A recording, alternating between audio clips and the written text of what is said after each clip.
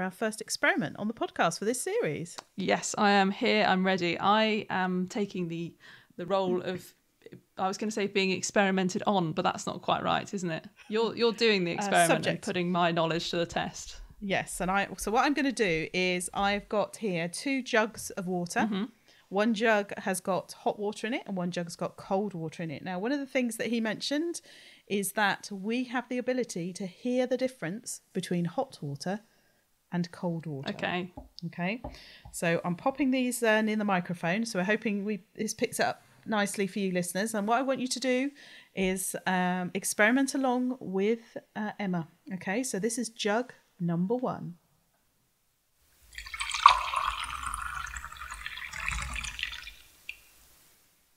And jug number two.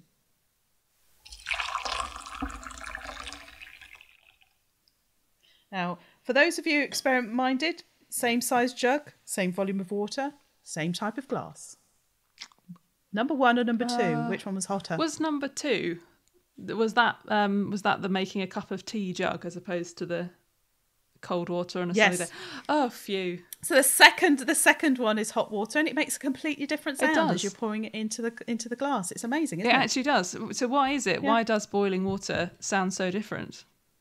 Well, there's a lot of debate about this online, lots of debate. Um, so a lot of people think it might be to do with the viscosity, which is quite a nice word. I like that word, Mm. viscosity. So um, a hot water is less viscous than cold water. So the suggestion is that this would have an impact on the sound that's being created because uh, water itself doesn't really make a sound, but it's the bubbles that are are being created inside the water as it moves around. That's what generates the sound. And of course, having hot or cold water, more or less viscous solution, might have an impact on on the sounds that are being generated. So it's funny actually that you're you're able to tell the difference just through sound, and you know research backs it up that actually people above the age of six are able to tell the difference between hot and cold water when they're hearing it poured. There was even a, a study that came out in um, 2020 that 93% of people were accurate when they were guessing, and they couldn't see like steam or anything, um, whether it was hot water or cold water being poured, even though they often didn't think they were going to be able to. They could. Yeah, and that's amazing, isn't it? And Hmm. and the fact that it's over six suggests that it's something that we learn over time. So we're listening to people making a cup of tea or or filling a glass with water, and then we can hear the difference in tones Hmm. and the difference in frequencies.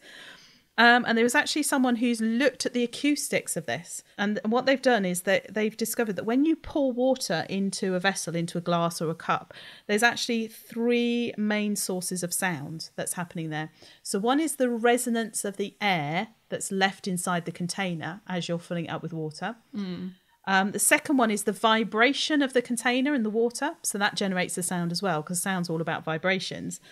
Um, and then the third one is the sounds of the water itself, and that's generated by the bubbles that are forming as you're pouring the water in.